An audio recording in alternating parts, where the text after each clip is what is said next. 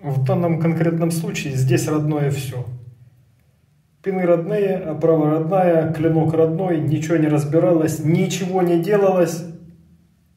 Вот вам пример того, как может сохраниться антикварная Франция. Здесь по самым скромным подсчетам 180 плюс ей. Ничего не делал умышленно. Единственное, оклеил в слой изоленты, бритву затащил. Вот таким вот образом она дожила до наших дней. Патинка, все родное, это у нас Родьер.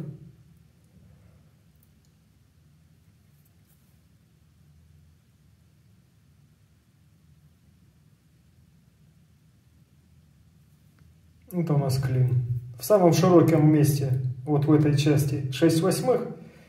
И далее по снисходящей там, ну, естественно, в 5 восьмых переходит. Не очень тяжелая вещица, достаточно среднеразмерный, будем так его называть, по ширине R, по толщине, простите. Сверху и снизу насечки. Вот такая права с вот такими пинами. Шайбы на пинах, я так подозреваю, а-ля глаз. Судя по размеру, здесь как минимум, наверное, миллиметров 5, а я бы, наверное, больше дал миллиметров 6. Костяной клинышек, опять же таки, вот такая вот штука. Вот это все родное. Патина родная, все родное. Вот такую вот фасочку я рабочую пристроил. По сталям, как всегда, вопросов не возникает. Естественно, были там в районе ну, на рабочие фаски точно был выход.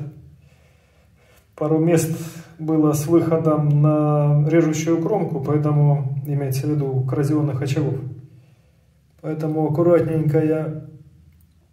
Сейчас проверим, что мне это самое. Хотя ничего мы здесь не услышим, безусловно.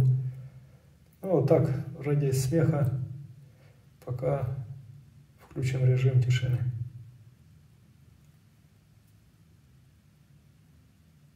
Тоже еще попасть надо самому.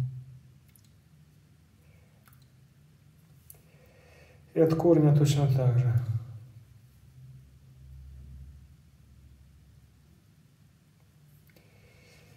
Я волосы не вижу вообще.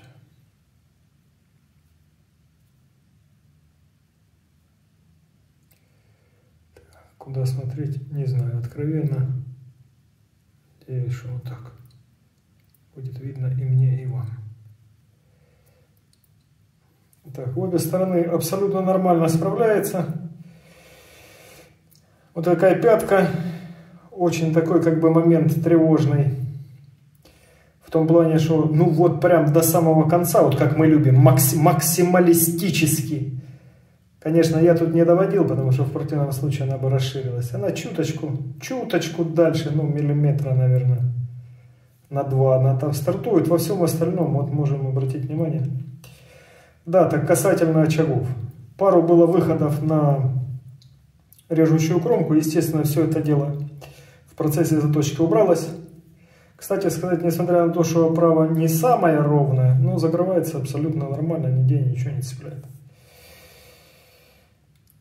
По бритве, в общем-то, все. Цена вопроса 2500 гривен. Ну, тут прямо Прямо-прямо все аутентично. И еще один момент хотел бы я э, затронуть относительно работоспособности работоспособности камней. Вот славноизвестная Нанива 8000, вот так я даже номенклатурно ее покажу.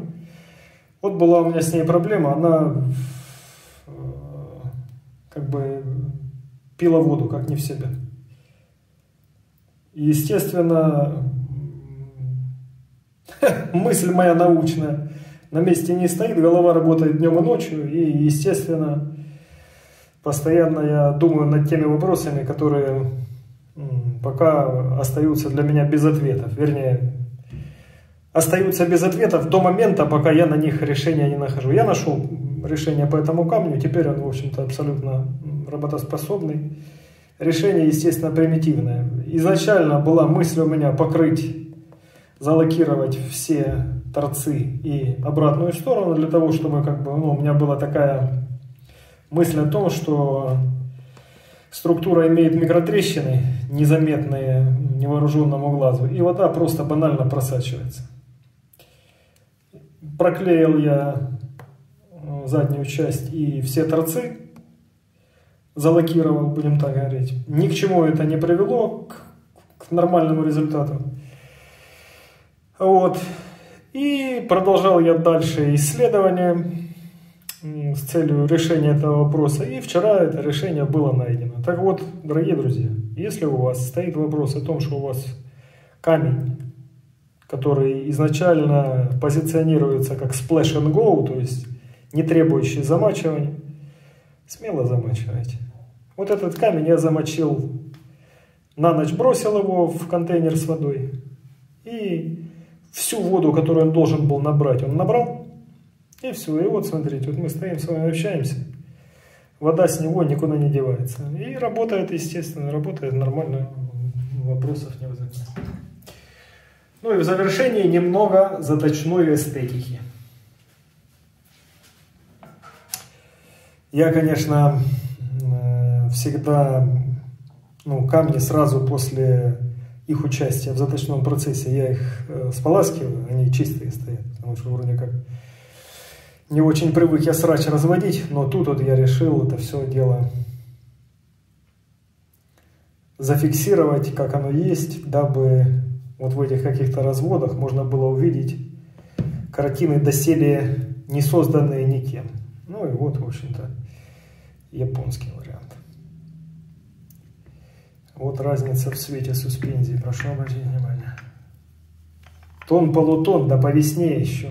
Да, ну, смотрите, смотрите. Жаль, конечно, что сейчас надо опять их споласкивать, потому что там дотачиваю эти бритвы китайские, там пару бритв осталось, надо привести в рабочее состояние, дабы потом уже к этому не возвращаться. Эстетика вопроса всегда имеет место быть. И, кстати, еще один момент. Наверное, все-таки он фундаментальный. Сегодня в очередной раз я убедился, что камень должен работать на суспензии на своей. И суспензию эту нужно выбивать алмазной пластиной.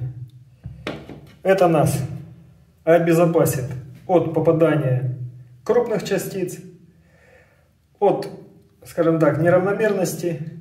И, в общем-то, мы будем четко понимать, что результат, который мы получим как бы от камня, это исключительно его возможности и способности. Без доми, домиш, домисей, примесей, домишек вот этого камня для наведения суспензии. Вот на этом камне я работал, на нем наводил суспензию желто-зеленым тюрингийцем. Этот камень работает лучше всех вообще. Лучше всех, лучше желтых, лучше зеленых, лучше желто-зеленых, каких угодно. Вот это вот пыльно-розовый, вообще души в нем не чаю, очень хороший и сверходнородный камень. И я пончик хорош. Все отлично наконец-то на данном этапе, опять же таки, все вроде устаканилось, по крайней мере, на ближайшие два дня. Ха-ха-ха. Поэтому у меня на этом пока все. Спасибо за внимание. До скорых встреч в эфире.